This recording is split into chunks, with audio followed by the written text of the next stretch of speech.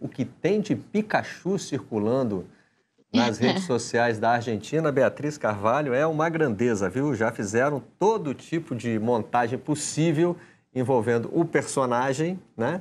Que dá é, o apelido ao autor de dois gols nessa partida e o Boca Juniors. Bem-vindo à redação, Beatriz. Bom dia, Barreto. Bom dia todo mundo ligado no Redação. É, exatamente. Agora só se fala do Pikachu porque ele marcou dois gols na vitória do Fortaleza por 4, 4 a 2 na Arena Castelão na noite passada.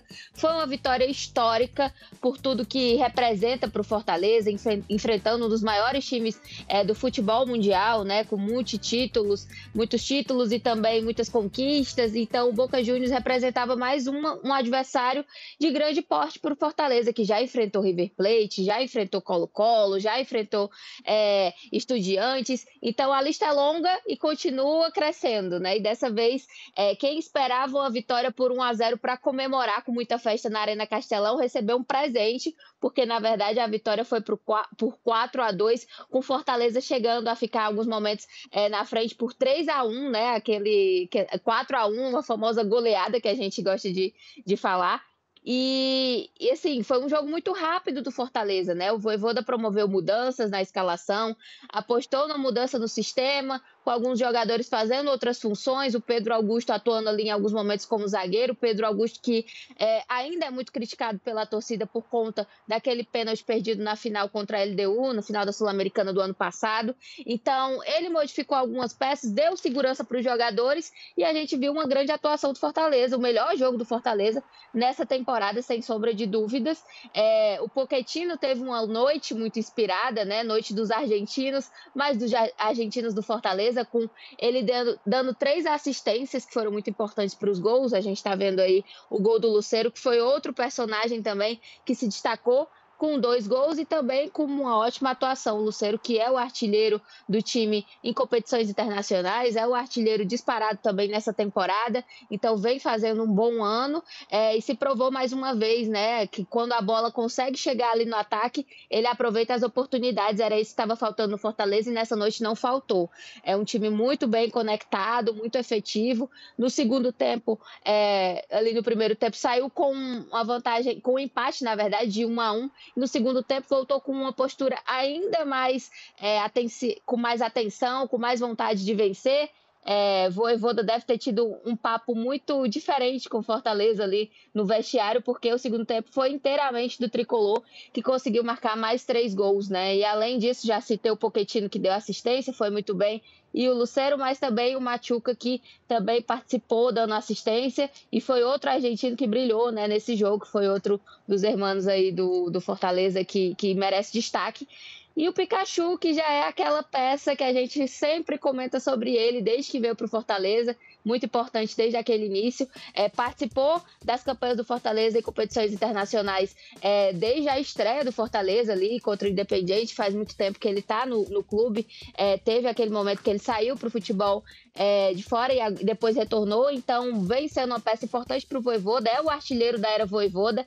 É, e, mais uma vez, teve uma noite de destaque com dois gols, participando bastante. E com isso, Fortaleza dispara aí na liderança do grupo D com nove pontos, cinco na frente do Boca Juniors e claro, é um dos favoritos para avançar de fase, né? O Fortaleza, desde o início, é, destacou essa postura de ter muita firmeza nas competições internacionais, porque é isso que o Voivoda quer muito, né? Quer ir muito bem. Ele até comentou isso na época da final do Campeonato Cearense, que a gente falava muito sobre a possível conquista do hexacampeonato ou não. E ele disse que não ia poupar ninguém nas competições internacionais, porque isso era muito importante para o clube, para a marca e também lá fora, né? Lá fora só se falava disso. Foi isso que a gente viu nessa noite. Muitos jornais argentinos e de outros países também comentando sobre a vitória do Fortaleza, chamando de goleada vergonhosa para o Boca Juniors. Então, é, é uma vitória muito importante pela atuação, pelo resultado, para a festa da torcida, né, que viveu um momento de oscilação nesse início de temporada, com o Fortaleza por vezes não atuando bem, por vezes perdendo,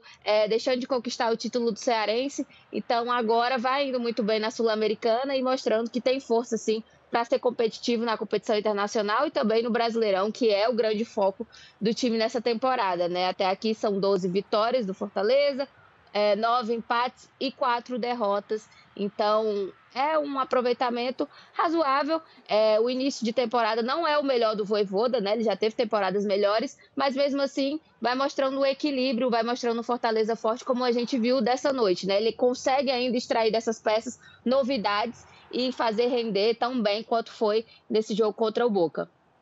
É, do lado do Boca acho que tem um certo exagero em considerar a derrota vergonhosa. Talvez pelo número de gols tomados, né? Não pelo adversário.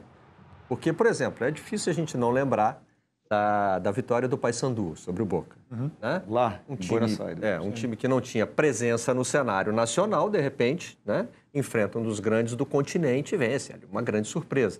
O Fortaleza vence agora o Boca Juniors num processo de crescimento. Né? É diferente. É diferente. Também, o, Fortaleza, gente... o Fortaleza é o atual vice-campeão dessa competição, gente. É claro que né, tem os ineditismos. É o primeiro time do Nordeste a vencer o, o, o Boca, e que tudo isso só acrescenta a vitória. Foi diante da própria torcida. Tem muita coisa bacana desse jogo para se olhar do lado do Fortaleza. Agora, olhando do lado do Boca, perder do Fortaleza hoje está no cenário do com, futebol com um time continental. Bem, bem mista. Um time mexido, bem misto. ainda por cima. É. Né? Acabou de, de, conquistar um lugar no semifinal de Argentina. Obviamente, isso é prioridade. E pagou pelas suas decisões. Sim, né? sim.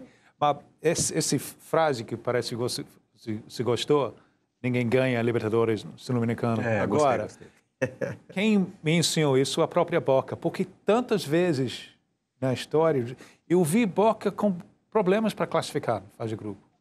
Classifica. Tem o, o caminho mais difícil. Não importa. Não importa. Então, Passa do fase de grupos, mas e depois dali para frente a coisa começa a se ajustar, sim, né? Se lembra ano passado, na Libertadores? Estava muito ruim na fase de grupo, muito, muito ruim. Classificou mal.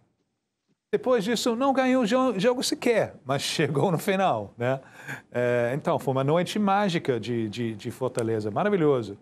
Mas também, eu acho que um, um jogo que Boca foi, tipo, não foi para perder, obviamente, mas não é nenhum, nenhum desastre vai, vai terminar o grupo em segundo lugar, vai ter uma possibilidade contra quem sai da Libertadores. E aí, aí vamos ver. Talvez a imprensa argentina trate isso como vergonha por desinformação, exatamente do que você está dizendo, né, Marcelo? De entender o que é o Fortaleza hoje, né? É, eu acho que dentro de todo o contexto saber. desse jogo, como disse o Tim, aliás, o Sibila, quando, o Rafael Sibila, quando participou com a gente, disse, olha, tem uma boa notícia para Fortaleza. O Boca se classificou Sim. e vai priorizar esse jogo. Né? É, você vai poupar, o, o, mesmo sendo o poderoso Boca, com toda a sua tradição, etc, etc, você vai poupar jogadores. Para enfrentar o Fortaleza em Fortaleza, né?